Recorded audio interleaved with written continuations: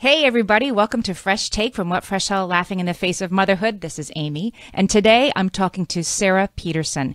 Her essays about motherhood and feminism have appeared in the New York Times, Harper's Bazaar, the Washington Post, and many other places. Sara writes the newsletter In Pursuit of Clean Countertops, which I read every week, where she explores the cult of ideal motherhood. Sara's new book is Momfluenced Inside the Maddening, Picture Perfect World of Mommy Influencer Culture. Sara lives with her family in New Hampshire. Welcome, Sara. Thank you for having me. I want to say up front that before we get started talking about momfluencers, what they are and what they do, that this book is not making fun of independent content creators making content about motherhood, of which I am one, and people who make money doing that, of which I am one. Yep. You're not saying that it's bad to be one of those content creators and you don't sneer at the women who do those things. No, 100%. I was never interested in writing some sort of like takedown or, you know, reductive, this is good or this is bad, you know, perspective at any point in the and, process. And the people like that, I mean, you make the point in the book that they're editors in chief of their own media companies. Some of them Yeah. are extremely successful. Um, and they are taking control of the narrative and defining motherhood as they see fit, which is powerful and wonderful and great. yeah, totally. And then it starts to maybe get a little more complicated when they start to define motherhood for the rest of us. Is that where things start to go off track?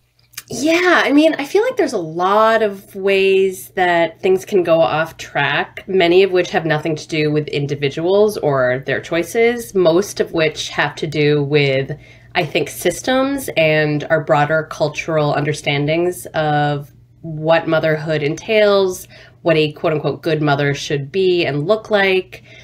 Um, and yeah, when we chase those rabbit holes, we end up usually looking at patriarchy and looking at white supremacy, looking at capitalism. Um, so the bad guys in this book are not individuals in any way. It's usually a larger system created and upheld by usually white supremacist patriarchy. Society, right. Right. So let's take a step back. How do you uh, define a momfluencer? Um, the simplest definition I would say is somebody who has utilized her maternal identity to monetize her social media platform.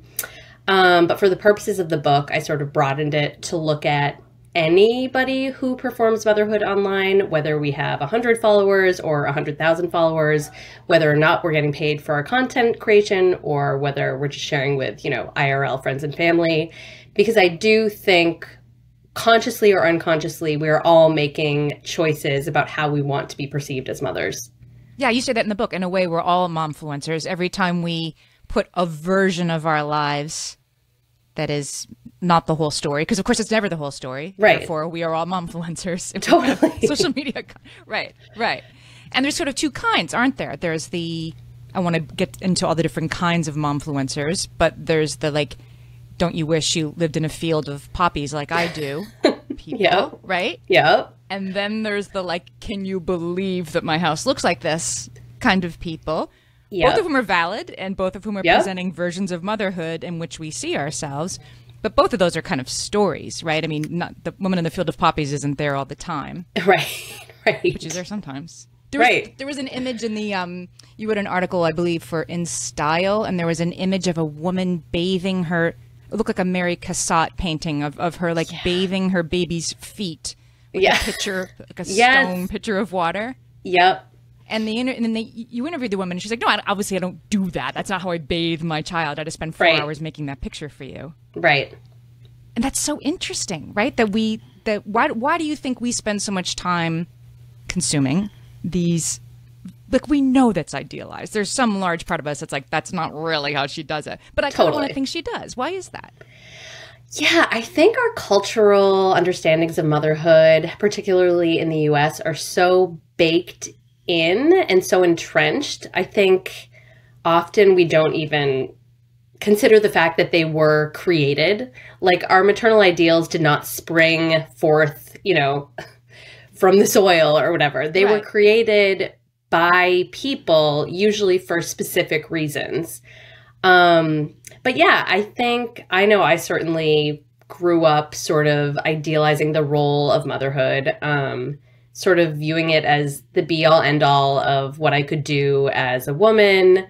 Um, I definitely uncritically swallowed the notion that like I was born to be a mother Mhm. and all of the skills that mothering entailed would just they were naturally within me, naturally in air quotes. Um Right.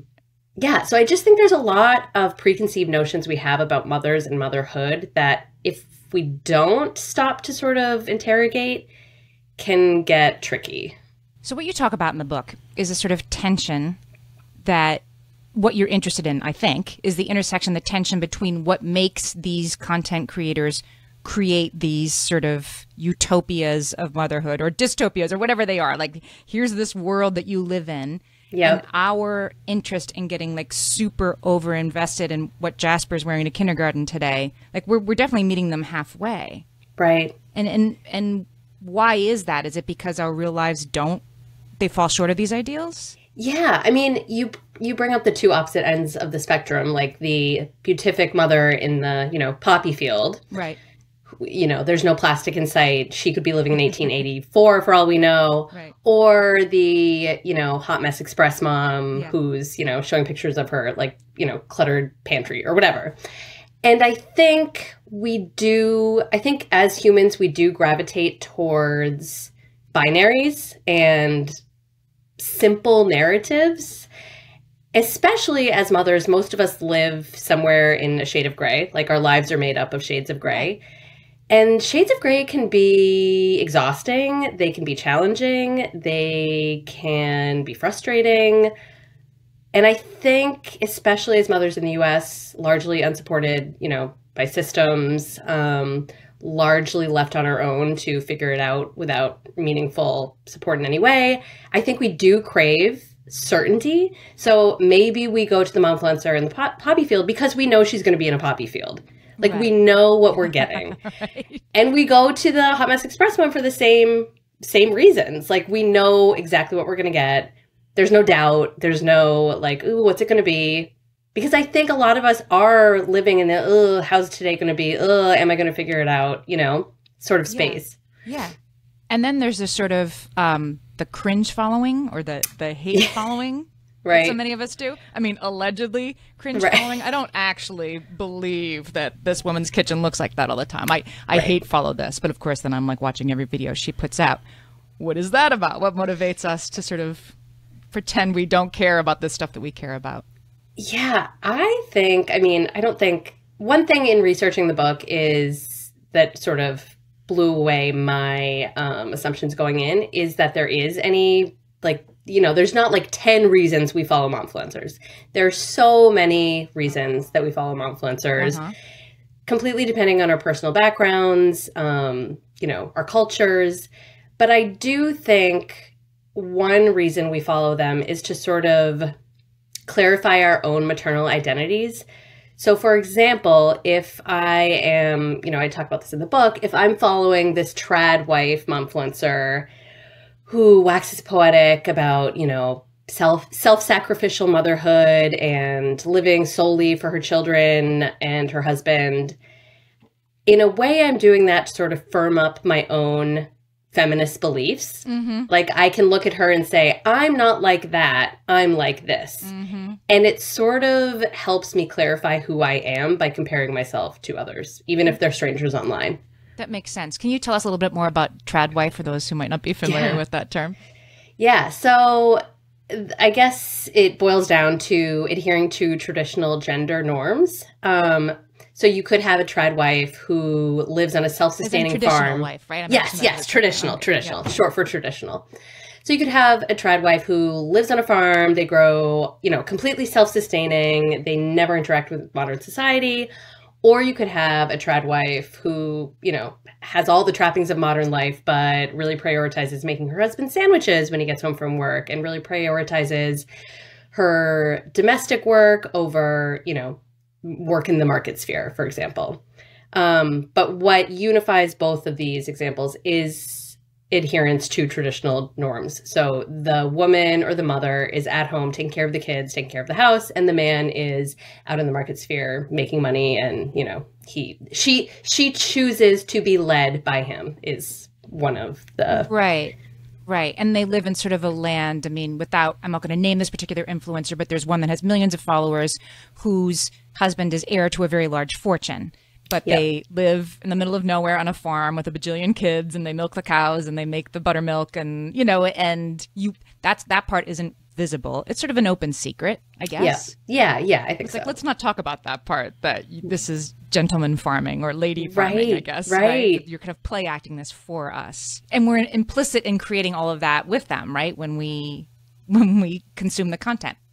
Yeah, I, I always find the comment threads really interesting, like in like the account you were referencing. Yes because most of the comments are like glowing endorsements of this person's motherhood and mm-hmm. her maternal rightness and goodness. Like, mm-hmm. oh my gosh, you're such a good mother. How do you do it? You're such a good mom. You're such a good mom. You're such a good mom.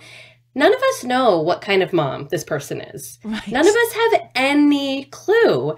But we're so trained to see signposts of good motherhood as being, as checking like certain boxes.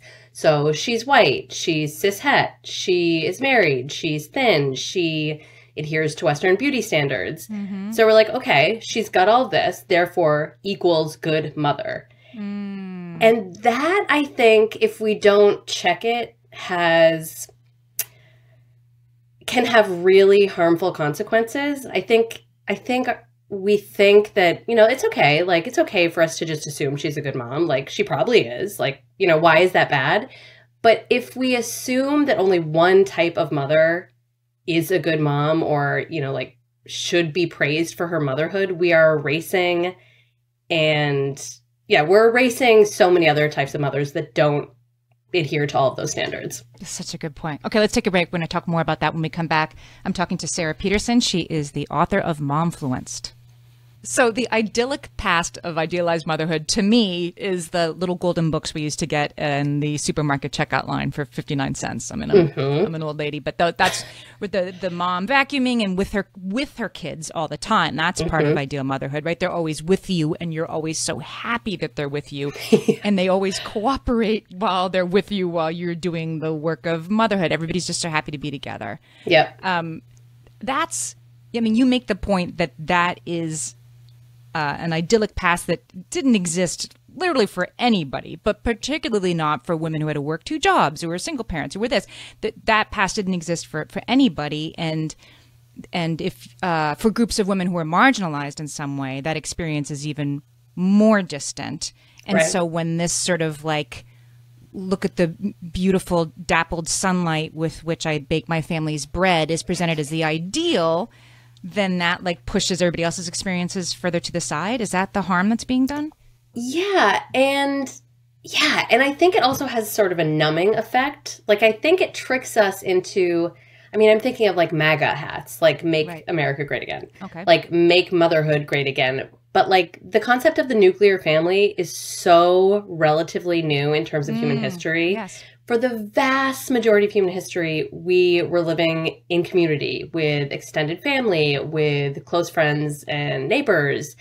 We were raising children in community. That's how we've done it for the vast majority of human history. So, this whole like idealizing and romanticizing the nuclear family that's completely self sustaining and insular is really a toxic because most people are not happy like that. Like most people get burned out if the mother is solely responsible for you know keeping up a house and raising children. Like she is likely going to suffer burnout. Mm. and it's a new concept. Like it's mm. not it's not this thing that has you know it's just it's so new and it was only available it's only available still to very few people and you make the point that during the pandemic, these sort of, you know, fields of sunflowers sort of accounts, they were very escapist. Like the pandemic didn't exist in, right. in those worlds. And right. in some ways, like that was great. We were all looking for little worlds in which the pandemic didn't exist when we were yep. all stuck at home with sick people and kids who had to be educated and everything else. Yeah. But it also, there also was some part of me, I suppose, uh, that was looking at those accounts like, oh, I want to live in that world where there's no pandemic, and and it's real and it exists, and I must be doing something wrong that I'm not there, loving it like they are. Right, right. Yeah, I don't know. I I was I would follow some of those accounts during the pandemic. And while sometimes I would get escapist pleasure, like, oh, she's milking a cow, that's like, it's fun to just focus on, you know, it's just fun to focus right, on, I like, guess you don't cow. need a mask while you're milking a cow in the middle Right. of nowhere. You probably Right. don't need that. Good for you. Right. But when, but I would also get really mad because most of us, most of the mothers during the pandemic were really not doing well. Most of us were, suff- I mean, most of us were having a tough time. Mhm. Some of us were having a really, really, really tough time, and some of us were having like a marginally less tough time. But none of us were doing great. Right. So there was something really off putting about a decontextualized version of motherhood that didn't exist within the constraints of the pandemic. Um, and especially when some of those accounts would, like, you know, have parties without masks, you know, pre vaccine. Yeah. It was. It was upsetting, and you have to have a lot of privilege to pretend that current events don't exist. You have to have a ton of privilege to not be impacted by current events. Yeah. And yeah, so I was never able to fully tap into like 100% escapist pleasure. For me, it was messier. yeah. And what about you make a really good point in the book that there's also harm to the creators sometimes. I mean, they're they're Yeah. buying into this and then they're on the hamster wheel and I've got to Yeah. make four videos by tomorrow and it's you know, it's a stressful way to make a living. Yeah. And then there's this also so there's one group of mom influencers that sort of perform perfect all the time. Yeah. And then there's another group that sort of performs gritty, and sometimes one becomes the other, right? The wheels come off, and Yeah. they do that in public, right? Like I'm, I'm getting a divorce, and I'm going to talk about it because I talk about everything. Mm-hmm. And then they have to sort of keep performing that. You call it performing sad mom drag. I'm like, wow, Right. yeah, I, I understand what you mean. Yeah. And what happens then?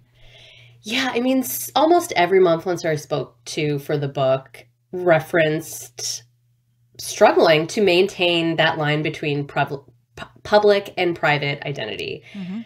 Um, and it gets even more complicated, I think, if we're talking about like a momfluencer versus like a style influencer, because I think most moms agree that motherhood does feel, or it can feel, not for everyone, it can feel like a bit of self erasure at first.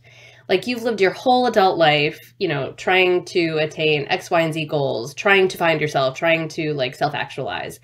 And then you have a child, and all of a sudden yourself blurs with that new baby, and you become sort of dislocated. And so the momfluencers, they're performing just their maternal identities often, when in fact, like we all have so many identities within us. And I think it can be confounding for momfluencers to if they're if they're earning money solely based on their maternal identities. I think I just think that gets psychologically really tricky. And they're also at the mercy of the algorithm and all these social media companies Right. Which you know they're changing what you know one day reels will get the most engagement the next so you know the social so the, so the momfluencer will get her whole strategy you know completely focused on reels and then they'll change it and it'll Yep. be like no you need two stories and then a picture or whatever and so and, and i spoke to many who also said like yeah i can't take breaks because the algorithm will not be happy Right. Right, right. And I won't get as many eyeballs. And it does, I do want to sort of push back on this idea that becoming a momfluencer can allow you to have that much sat- sought after balance because, Mm. you know, yes, you can theoretically stay home with your kids, but you're also working all the time. Right. So, yeah, like momfluencers need childcare too. They are working constantly. yeah. So, yeah, I don't love the whole, you know, they've figured out this work life balance idea Right, right. because I don't think they have. And work yeah, the home, and they also have to do the home stuff, but it can't be visible in the shot. Yeah, exactly, exactly. it's a lot. All right, we're take we're talking to Sara Petersen, the author of Momfluenced. I want to talk about the financial spendy part of momfluencing and how it affects us all when we get back. So, Sara, you talk in the book about how momfluencers are basically today's magazine ads. You know, that the, my mom or even me would read magazines and see pictures of somebody living a life that looked wonderful to me that um that I'd be like, "Oh, I wish I could be like that person." But you the funniest example of the J. Crew catalog and the girl in the roll neck sweater. Like you yes. want to be her, but you right. don't know her name or where she met her boyfriend. Totally. It's a whole other level. So explain how that takes it to a whole other level. Yeah, yeah. So, I mean, I was an avid reader of J. Crew catalogs. Right. Definitely wanted to be them. yes, whoever they totally. were, they were doing. Totally. But I didn't have their whole story living in my subconscious yep, the way yep. I do with some of the momfluencers I've been following for several years. And yes, I intellectually understand that social media you know involves a certain layer of performance. I understand that on an intellectual level. But if you consume somebody's life for, you know, five, six, seven, eight, nine, ten years, they are living inside you in a way that the J. Crew model never can. Regardless of whether or not we understand that it's performance and that it's just one slice, you know, it's one little snapshot, it's not, you know, the whole picture. We still we still can hold ourselves up against these people these strangers and we can form these parasocial bonds with them. Yes. Even if we think we're, you know, you know, I'm above that or I'm smarter than that. It yes. it kind of happens without your permission in a way. And it happens without the creator realizing. You give an example in the book of a creator being horrified when somebody came up to her nanny and her kids in the park and said like, "Oh, I know these kids. I don't even know the kids' names. Like, this is Parker and this is Emma and oh my gosh, and I and I know them." And the nanny was like, "This person acted like she knew you," and this content creator was horrified by that. But right. I, in that, I kind of read like, well, what did you what did you think when you were putting your kids on the internet every day? And this, yes, you do kind of forget that the person has developed this parasocial relationship with you, but they have. Right, right but it is a one-sided relationship yes. and that can be so it's it's just such a confusing modern dilemma that right. we're in and we're all like this is such a new phase also this technology is so new like i do really wonder you know what we will have learned 200 300 years from now about the impact of social parasocial relationships um, Explain won- that a little more. I yeah. think we might have glossed over that a little bit. Sure. What is a parasocial relationship? So it's essentially um, forming a bond that you typically have with people in your actual life, your friends, your neighbors, your community members, and feeling similar feelings to somebody you have never met, um, usually online, despite the fact that they don't know you exist. Right. And yeah, and and again, the better the storyteller is, the more you're going to develop the sense that you kind of sort of know them, even though you don't, and you probably never will. And is that a bad thing? Like I'm thinking about podcast people listen to this podcast, yeah. the podcast that I listen to. I definitely have that invested relationship in the people who are in my ears all the time. Same. And I guess that's okay as long as they're making you feel better about yourself instead of worse. Yeah, yeah, yeah. I'm. It, it's definitely not a good bad thing. Okay. It's just uh I think it's like the type of thing that you have to constantly be checking in with yourself about. Hmm. Like, am I am I having nightmares about this person? like, or am I like finding myself feeling badly about my parenting choices because I'm compare comparing them to the parenting choices I think this complete stranger is making. Right so yeah, I think you kind of have to check in with yourself, see how much space they're taking up, and whether or not that energy you're investing is feeding you or depleting you. And of course, you can't forget that that the depth of that relationship that you feel is then being used to sell you stuff. Yeah, I mean, yeah, if it's a monetized account, mm-hmm. for sure, yeah. And I, and it's not like I think and I really don't it's even I don't know. I guess that's tricky because it's like they can be as honest and authentic as they're capable of being and also want to make a living from posting sure. an ad for like Absolutely. toothpaste. Like this yeah, like has ads. Like it's okay right. to make a living. Right. Yes, like one doesn't cancel out the other. It's not right. like because I uh, a influencer makes ads, she's incapable of being honest and yeah, yeah, yeah, yeah. Right. But it's that it's more just the awareness of like their presence is also selling us something. It's getting us to yeah. stay on Instagram. Instagram is trying right. to sell us to stay on Instagram, right? Yes. So, so, when we're consuming content, we're still on Instagram. Right. And then I suppose, you know, at Yellow Sunshine Mama, she might not be making money from the reel that you're going to see next. Right. But Instagram is. Yeah. And, And this is where- being sold, you know, you're being sold something. Yeah. And this is where I think it's also really challenging for the creators because, like, they can have the purest intentions, but if they look at their metrics and see that, like, oh, when I opened up about, like, you know, my marriage difficulties last week, Yeah, I saw a huge rise in engagement. Like, they're not bad for the next time they come up against, like, a life hurdle. They're not bad for thinking to themselves, like, well, I mean, I'm going through this really difficult time but I might as well share about it because at least then I'll be going through a difficult time and maybe like gaining followers so I can get better sponsorship deals and make more money. Like it's Yeah. such the cycle is so fraught. Yeah, and you're forced sometimes. I'm thinking of one influencer who I saw who um, was going through a, a divorce. Apparently, and like I felt like I had to stop watching because it was a video in which like we've been broken up for 12 hours. It's fine. We're better than ever. The kids are going to be fine. It's like did you you you don't know this yet, and I know you feel the pressure to be performing this for us, but Yeah. you could you should just log off Yeah. now, right? Um, but you but you're invested and you wonder like oh now what's going to happen? What is she going to say tomorrow? And so then we participate in it. I know. I know. I know. So what do we do about this? Do you think it's something we need to like check in ourselves? Do we log off? Do you put limits on it? How how did your perception of what is good or bad about this change when you wrote this book? Um yeah, I mean I think it's so so individual. Um for me, I can only share my, you know, own experience and I'm just one person, but I am pretty shocked by the difference in my well-being when I take like real social media breaks. Like when I completely log off for a week, for example, I am I feel markedly better, like in almost every way.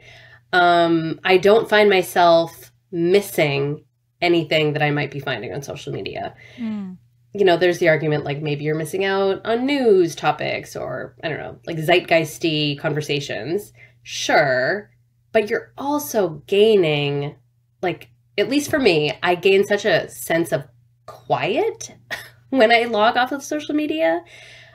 Just because there are less, even though these people are not people I actually know, and even though I'll probably never meet them in real life, there's less characters coming at me with you know like in my life and in my and i mean i do dream about influencers i follow they they're in there so yeah i guess my general advice would be to yeah check in with yourself. And you know i tell a story in the book about a woman who I interviewed a psychiatrist and she was telling me about one of her patients who took her kids to a blueberry patch. And you know one of her kids was going through like behavioral challenges at the time. And so the therapist was like so why did you go to the blueberry patch? Like do you do you love blueberry picking? Like is this something that's like always been a part of your life?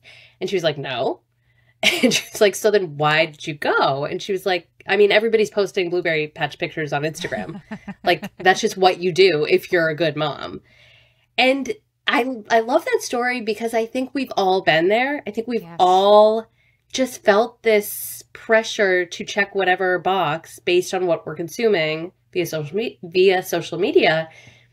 And it's yeah it's really hard to stop and say like is this important to my internal values or do i just want a cute picture to feel as though i am a good mom or to get external validation for my good motherhood yes, we call that like pumpkin town parenting on this oh my podcast. gosh yes And that's what it is. Like, do I want to be a pumpkin town? Do my kids want to be a pumpkin town? Does anybody here think it's fun, or are we just like we have the Right. flannel shirts and we're going to sit on the darn pumpkins because I have to?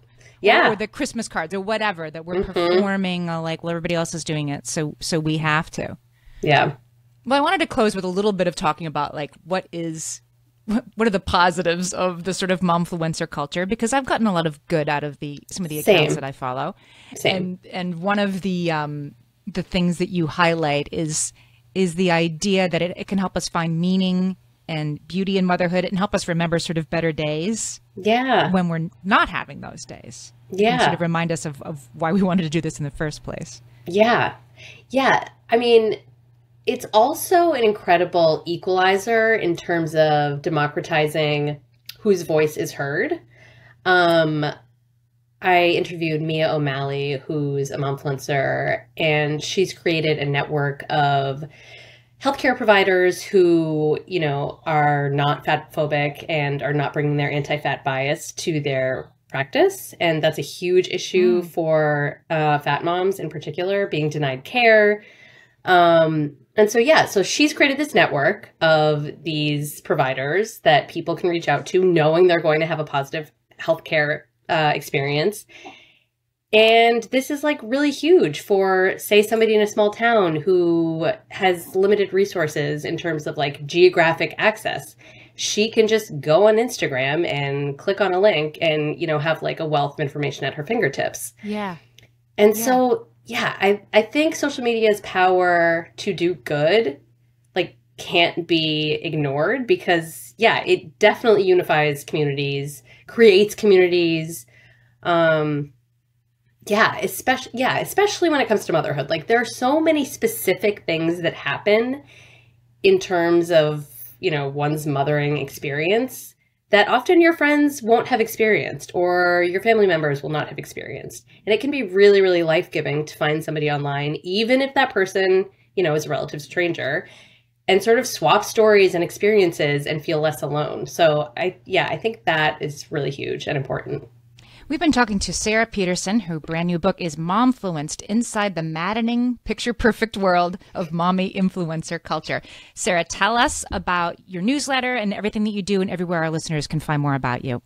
Yeah. Um, so my newsletter is called In Pursuit of Clean Countertops. Um, just because that's like my own I don't know, Achilles heel in terms of adhering to maternal perfection. Um, but yeah, it's about momfluencer culture and it's it interrogates the cult of ideal motherhood. Um, and my book, Momfluenced, of course. And you can follow me and you can buy the book wherever books are sold. Um, and you can follow me on Instagram and Twitter at S. Louise Petersen. I will put the link to that, to the book, and to subscribe to the newsletter all in the show notes for this episode. Sara, thanks for talking to me today. Thank you so much.